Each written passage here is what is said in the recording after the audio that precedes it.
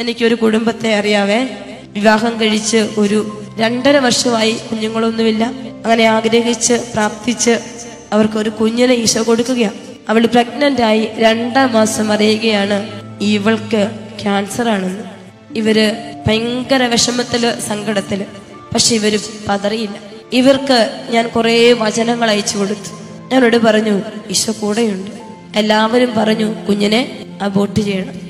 കീമോയൊക്കെ start ചെയ്തു. അപ്പൊ നമുക്കറിയാം കീമോ ഒക്കെ സ്റ്റാർട്ട് ചെയ്യുമ്പോൾ ഒരു കൊച്ചിന്റെ അവസ്ഥ എന്താണെന്ന് ഞാൻ പറയാതെ നിങ്ങൾക്കറിയാം. അങ്ങനെ കീമോ പന്ത്രണ്ടെണ്ണം തീരുമ്പോൾ എനിക്കൊരു മെസ്സേജ് വാട്സപ്പിൽ അയച്ചിരിക്കുന്നത് എന്താണെന്നറിയോ?